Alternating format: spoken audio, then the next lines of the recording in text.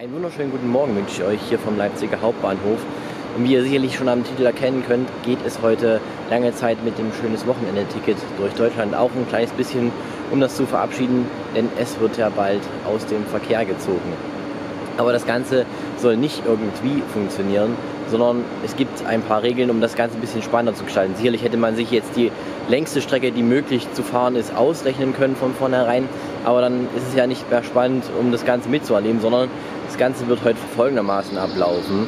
Denn wir werden nämlich an jedem Bahnhof, an dem wir ankommen, auch den nächsten Zug, den wir nehmen können, benutzen, um weiterzukommen. Das heißt, wir werden aus dem Zug aussteigen, zur Anzeigetafel im Bahnhofsgebäude laufen und dann den nächstmöglichen Zug, den wir bekommen können, nehmen. Aber da gibt es noch zwei kleine Regeln. Der Zug, den wir nehmen, darf nicht wieder in dieselbe Richtung zurückfahren, aus der wir gerade kommen.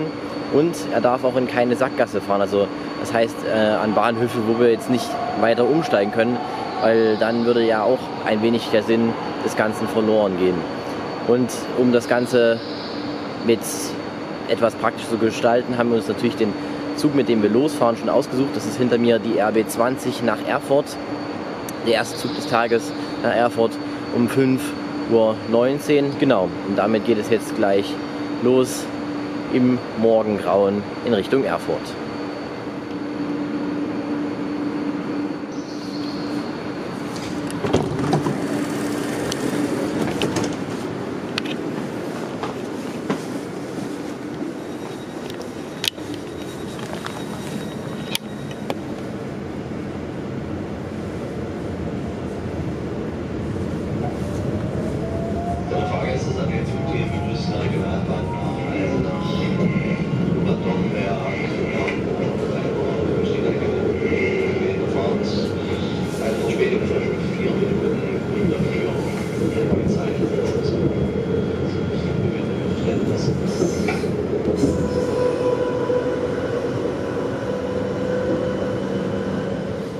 Mittlerweile befinden wir uns schon in der Nähe von, oder was heißt nicht in der Nähe, sondern wir befinden uns gleich am Naumburger Hauptbahnhof.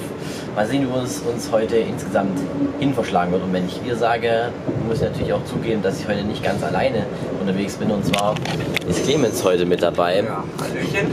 Und das heißt, wir werden heute gemeinsam Deutschland bereisen. Ja, und dann sind es jetzt noch ungefähr eine Stunde Fahrzeit bis Erfurt, wo wir dann das erste Mal schauen müssen, es dann weitergeht.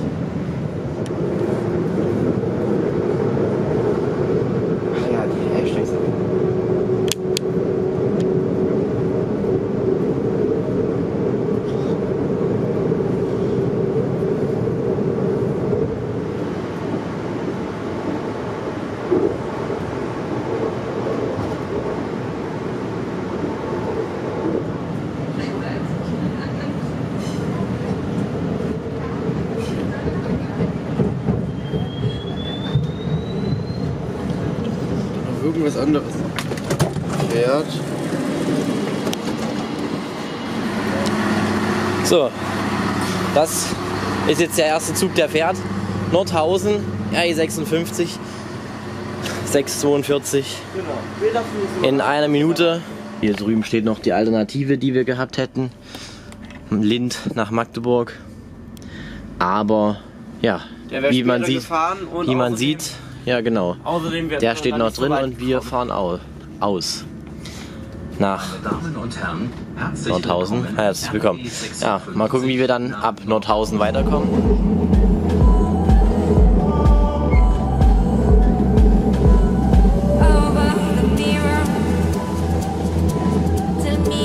Unsere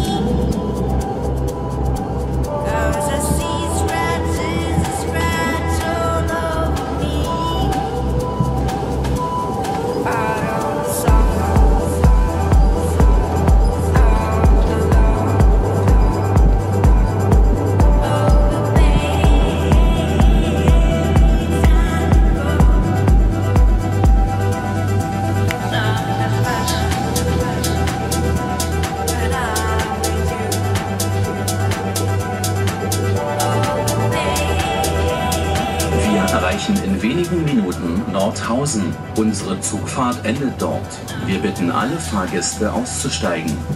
Sie haben folgenden Anschluss RB 80 nach Göttingen über Nordheim um 8.39 Uhr von Gleis 5. Vielen Dank für Ihre Reise mit DB Regio. Auf Wiedersehen.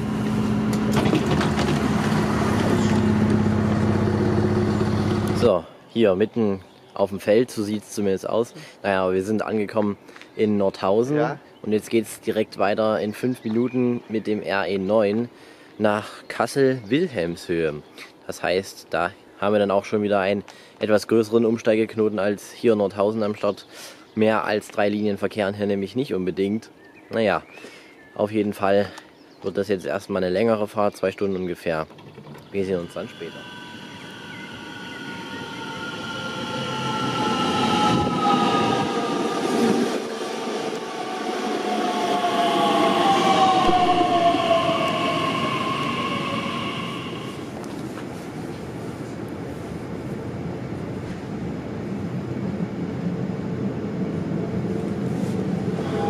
Meine Damen und Herren, im Namen von Abelio begrüßen wir die zugeschiedenen Fahrgäste im Regionalexpress nach Kassel-Wilhelmshöhe über Rheinfeld Eichenberg und wünschen eine angenehme Fahrt. Der nächste planmäßige Halt ist Wolkramshausen.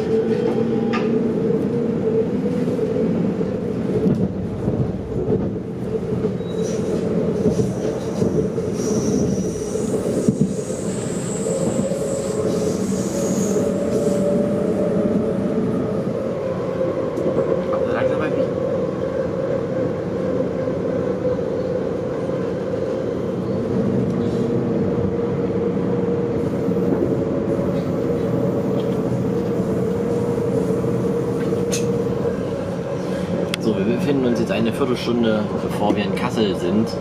Hier noch immer im RE9. Man muss sagen, also man merkt leider das frühe Aufstehen ein wenig. Aber es macht auf jeden Fall Spaß und ist echt interessant. Mal sehen, wie wir jetzt in Kassel weiterkommen. Ja, Clemens, was sagst du bisher? also, ähm, bis, also vor allem, wenn man mal eine neue Strecke erkundet, also Erfurt, äh, Nordhausen bin ich bisher noch gar nicht gefahren ähm, und deshalb, ja, also ich bin mal gespannt, wie es weitergeht.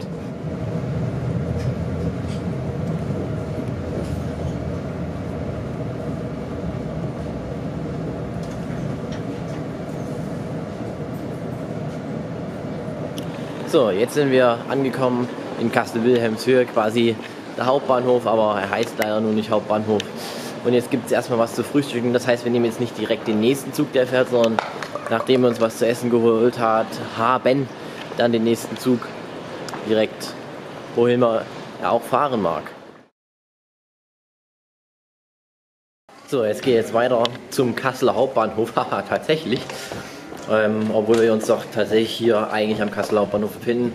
Ne, wir haben jetzt gesehen, dass wahrscheinlich vom Kasseler Hauptbahnhof dann als nächstes es dann weiter nach Frankfurt gehen würde.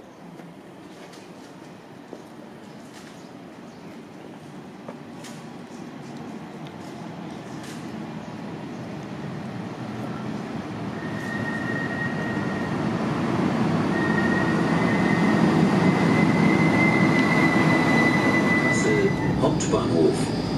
Umsteigemöglichkeit zum innerstädtischen Bus- und Tramverkehr. Ausstieg in Fahrtrichtung links. Bitte achten Sie auf den Abstand zwischen Zug und Bahnsteigkante. Oha.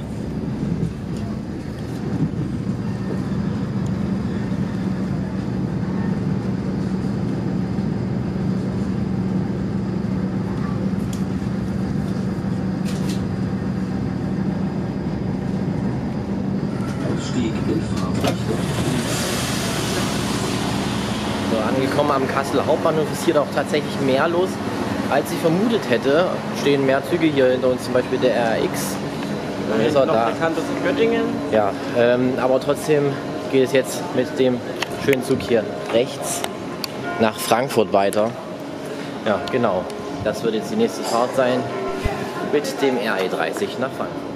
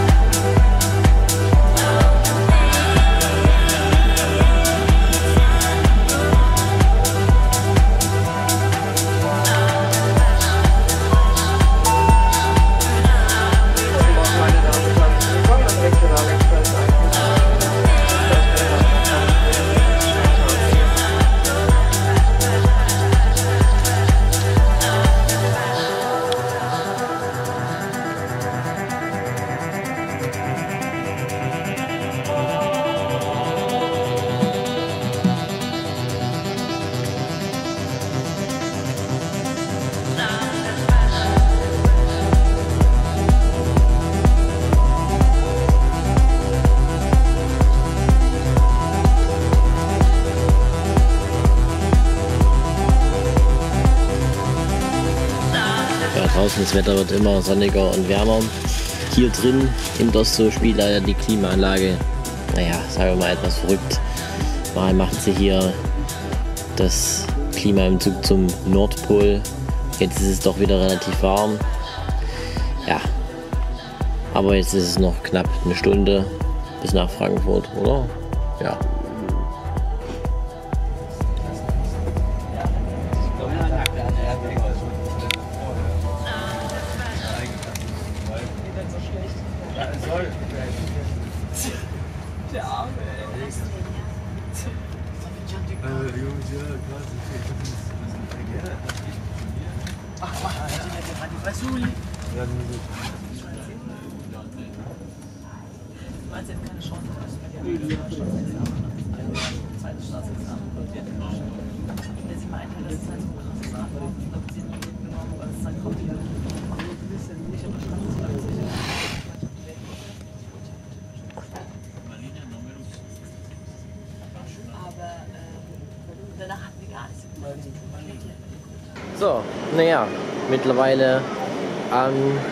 zweitstärksten frequentierten Bahnhof in Deutschland angekommen. Kurz vor 13 Uhr. in Frankfurt. Es ist ja jetzt doch etwas mehr los als an den Bahnhöfen, wo wir bisher angekommen sind. Jetzt müssen wir uns erstmal was zum Mittagessen holen und dann mal schauen, wo es lang geht. Weil hier ist jetzt nun wirklich ja, einiges möglich, wo man hinfahren kann. Nach Mannheim, nach Würzburg, nach Koblenz. Ja, also die Möglichkeiten stehen uns jetzt wirklich offen. Aber erstmal brauchen wir jetzt was zur Verpflegung.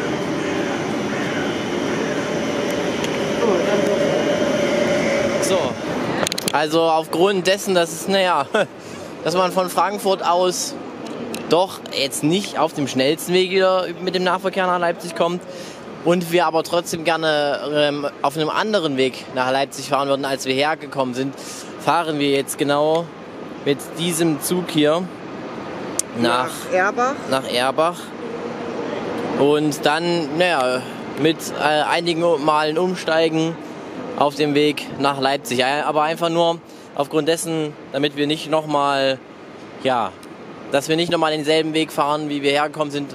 Es gäbe jetzt natürlich, wie man hier sieht, äh, die Möglichkeit noch äh, vorher nach Heidelberg ähm, zu fahren oder nach Koblenz. zurückfahren. Genau, Also und deswegen äh, lohnt sich das nicht, weil wir dann eh wieder über Frankfurt kommen würden und das, naja, das macht nun auch wirklich ähm, für uns nicht so viel Sinn. Deswegen fahren wir äh, jetzt nicht zwar mit dem nächsten Zug, aber ähm, in 20 Minuten mit dem Zug nach Erbach. Ja, um uns jetzt noch ein bisschen die Wartezeit zu vertreiben, bis die RB, nee, der RE 85 nach Erbach kommt, sind wir jetzt mal auch ans Bahnsteigende nahezu gegangen. Vielleicht fährt jetzt hier noch was aus dem Bahnhof raus.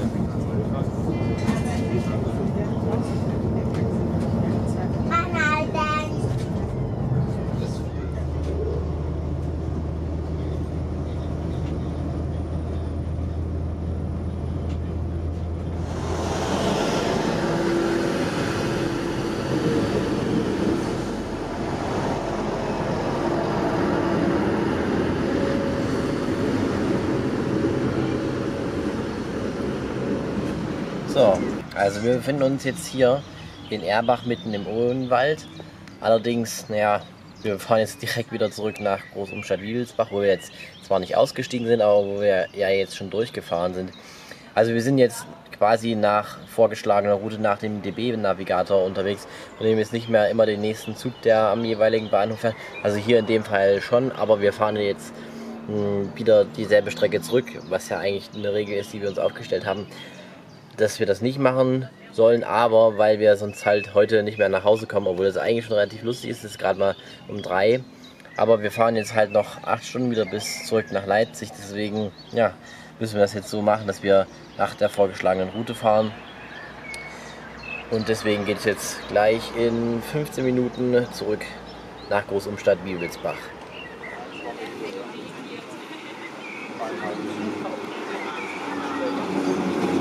Wiebelsbach. So,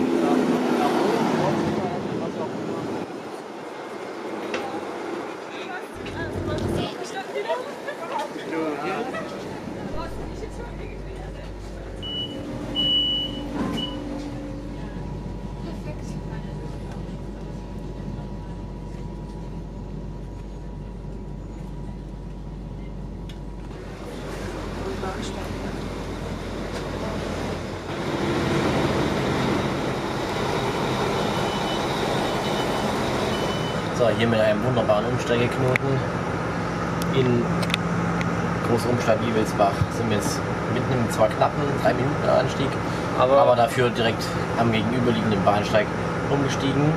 Und jetzt 40 Minuten Fahrzeit bis zum Endbahnhof in Hanau. Ja, jetzt hat es jetzt gerade umgeschalten leider, aber ja, jawohl, nach Hanau.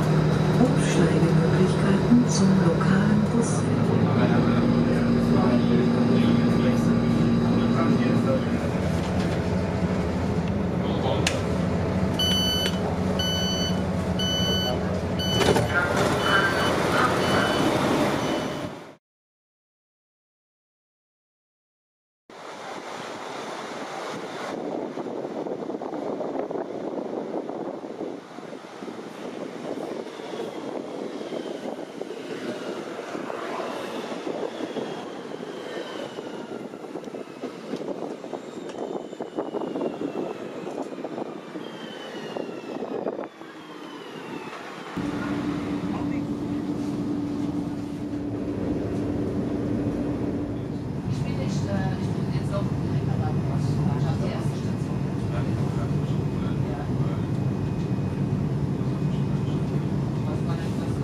HLB and wish you a pleasant day. Exit to the left in the direction of travel. Schönen Feierabend. Ja, den habe ich jetzt. Was auf jeden Fall ein Vorteil an dieser Reise ist, man kommt in Orte, in denen man noch nie gewesen ist, Aschaffenburg heute zum Beispiel oder auch gerade Erbach, alles Orte, an denen ich mich noch nie aufgehalten oder die ich noch nie besucht habe. Ja, jetzt haben wir hier aufgrund 10-minütiger Verspätung vom RE 55 äh, Viertelstunde Aufenthalt.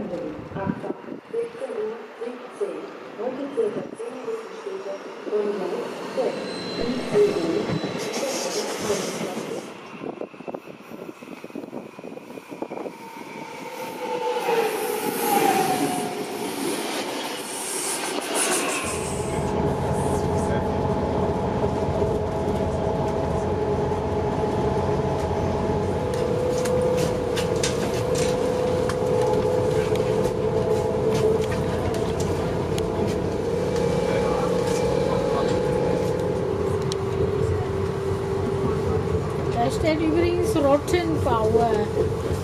Plus zur Info.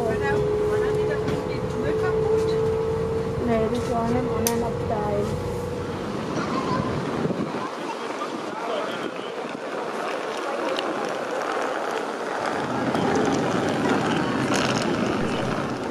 Ja, also nach der Fahrt durchs wunderschöne Maintal sind wir jetzt quasi mit auf der letzten Etappe noch einmal umsteigen von hier aus, von Würzburg, wo wir uns jetzt befinden. Wir haben jetzt hier 40 Minuten, also wir hatten 40 Minuten, jetzt haben wir noch 20 Minuten Aufenthalt. Wir werden uns jetzt noch unser Abendbrot äh, besorgen und dann mit dem RE7 nach Erfurt mit einem wunderschönen 612 aufbrechen. So, wunderbar. Der RE steht zum Glück schon ein paar Minuten früher da vor der Abfahrt. Das heißt, wir können uns schon schön einen Sitzplatz heraussuchen. Und der ist auch echt, ähm, naja, eine ordentliche Ausführung. Ich kann das ja mal hier zeigen. Hier insgesamt drei Teile. Davon fährt aber der vorderste immer noch nach Bad Kissingen.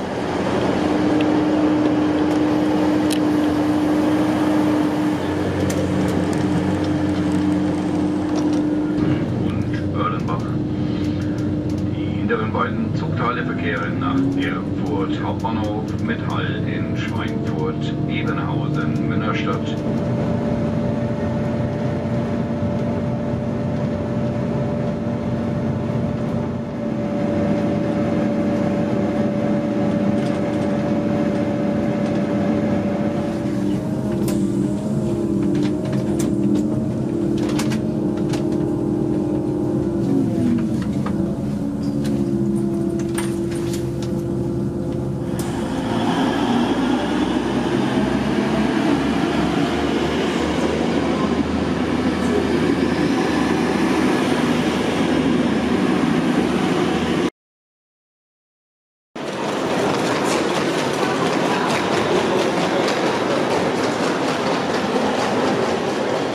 Eigentlich äh, wollten wir jetzt gerade mal noch eine Runde mit der Straßenbahn durch die Stadt fahren, aber Sonntagabends ist der Takt mehr oder weniger entspannt. Deswegen äh, ja, äh, kümmern, wir, kümmern wir uns mal noch um einen Ersatzzug, der hier fahren soll und, um die den 245, Intercity äh, mit Also ja, Intercity mit 245.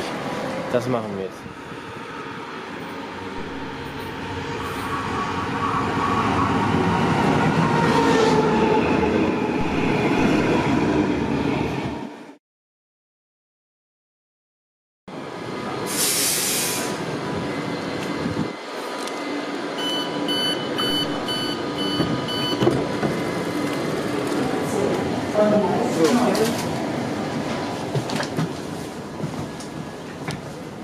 So, jetzt beginnt die letzte Etappe bis nach Leipzig mit dem Abellio RB20.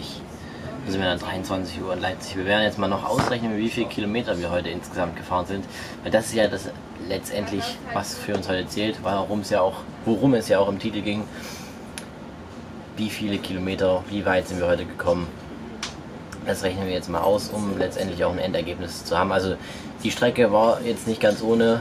Wir sind bis Frankfurt gekommen und das Ziel, dass wir überrascht wurden, wo wir heute hinkommen, hat sich auf jeden Fall auch erfüllt.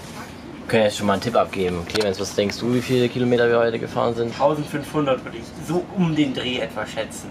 Ich schätze so Weil das jetzt 1000, ziemlich viel 1000, wäre. 1300 schätze ich. Naja, aber wir sind jetzt auch nicht ganz wenig gefahren. Wir werden es auf jeden Fall mal noch ausrechnen.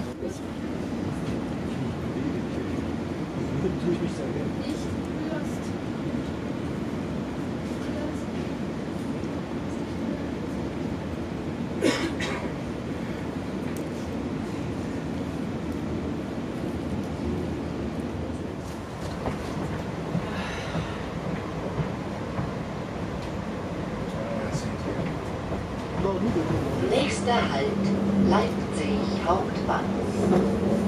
Unsere Zugfahrt endet dort. Umsteigemöglichkeit zu Zügen des Nah- und Fernverkehrs sowie zum Plusbus.